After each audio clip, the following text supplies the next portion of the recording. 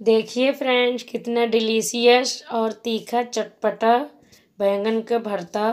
तो फ्रेंड्स आज हम बैंगन का भरता या आप इसको बिहारी चोखा भी कह सकते हैं। तो आज इसकी रेसिपी हम आपके साथ शेयर करने वाले हैं। तो बने रहें वीडियो में अंत तक, वीडियो की स्किप बिल्कुल भी ना करें। और अगर हमारा वीडियो पसंद आए तो प्लीज़ लाइक शेयर सब्सक्राइब करके बेल आइकन को प्रेस कर दें। तो चलते हैं, वीडियो को शुरू करते हैं। तो फ्रेंड्स, आइए वीडियो को स्टार्ट करते हैं। तो इसी रेसिपी को देखने के लिए हम पूरा वीडियो आप देखेंगे फ्रेंड्स। आपको वीडियो इसकी बिल्कुल भी नहीं करना, कितना चटपटा और तीखा सा हमारा बैंगन का भरता की रेसिपी है। तो इसी को हम आपके साथ शेयर करने वाले हैं। तो आइए फ्रेंड्स, स्टार्ट करते हैं वीडियो बनाना। तो ये देखिए फ्रेंड्स, यहाँ पे हमने ले लिया बैंगन। बैंगन को हम डंडी की सहायता से इसके अंदर हम लहसुन छिले हुए अंदर करेंगे। तो ये देखिए फ्रेंड्स, डंडी से नहीं बन रहा तो हम यहाँ पर पेन ले लेंगे जो हमारा पेन नहीं चलता। इसी से हम इसके अंदर ऐसे करके होल बनाएँगे और पास या दूर ये आप पर डिपेंड करता है, चाहे जैसे भी बना सकते हैं। अब इसी के अंदर हम छीले हुए लहसुन, छीले हुए लहसुन की कलियाँ अंदर कर देंगे।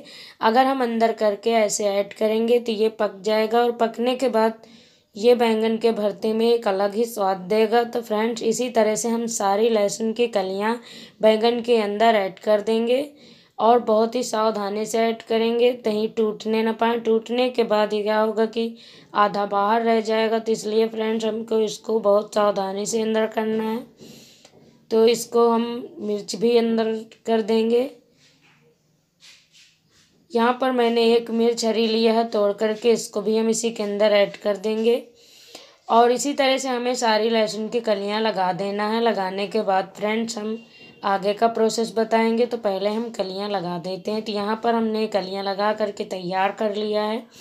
लहसुन की कलियाँ लगाने के बाद यहाँ पर हम सरसों का तेल लगा देंगे इसके ऊपर ताकि ये काफ़ी अच्छे से पके। तो ये देखिए, मैंने सरसों का तेल लगा दिया अब यहाँ पर हम इसको चूल्हा में पकाएँगे। एकदम देहाती स्टाइल बना रहे हैं भरता फ्रेंड्स। तो यहाँ पर ईंटे का चूल्हा है, जिस पे मैंने पहले पानी वानी गर्म किया तब इसी के अंदर पूरा ढक देंगे। और ढकने के बाद अगल बगल से हम जो इसमें आलू हैं, आलू ऐड करना है तो आलू भी डाल देंगे। आलू भी पक जाएगा हमारा। तो हमने सारी चीज़ों को ढक दिया। ऊपर से एक टमाटर रख देंगे, ये भी पक जाएगा। तो हम इसको बीस से तीस मिनट बाद चेक करेंगे। तो धीमी आँच में ऐसे करना है। ज़्यादा अंगारे हो तो ऐसा तो देखिए फ्रेंड्स, हमारा बैंगन पूरी तरह से पक चुका है।